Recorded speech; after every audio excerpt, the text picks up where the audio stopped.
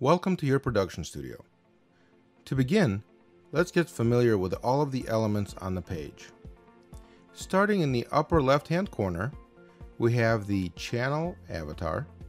You can change the avatar by using the crop icon in the upper left hand corner, or you can play your channel by using the play button. You also have the channel settings button and a drop down that lets you choose what channel you'll be working with. Right below that, you have your video library. The Get Videos button will allow you to populate your library with any of the videos that you'd like, and you can sort your videos using the drop downs to the right of that. In the upper right hand corner, you have the calendar, which will allow you to pick any date to set your schedule and below that you have your schedule creation tool. Let's start by adding some videos to our library.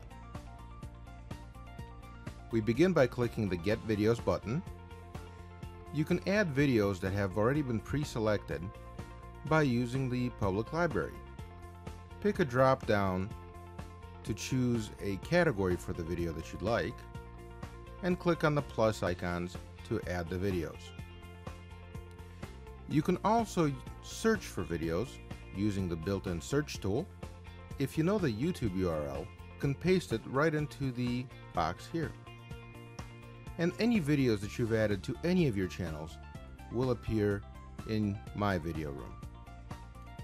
Now that we have added some videos, let's start by creating a schedule. First, we pick a date to create the schedule. Then we pick a start time to make the schedule, the Go button to set that start time, and then just click the plus icons to add the videos. Once you're done, remember to click the Publish button so your schedule becomes live.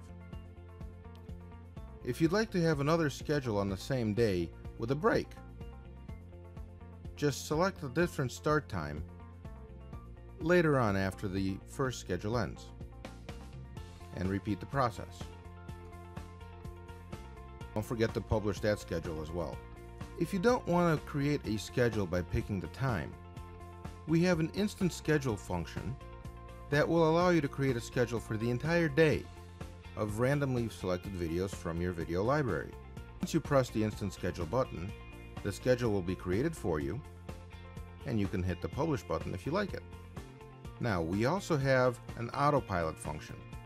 What the autopilot function will do, if you turn it on, it will create an automatic schedule for you for the following day.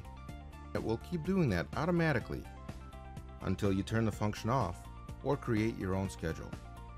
Hope you have a great time creating some schedules and we can't wait to see what you come up with.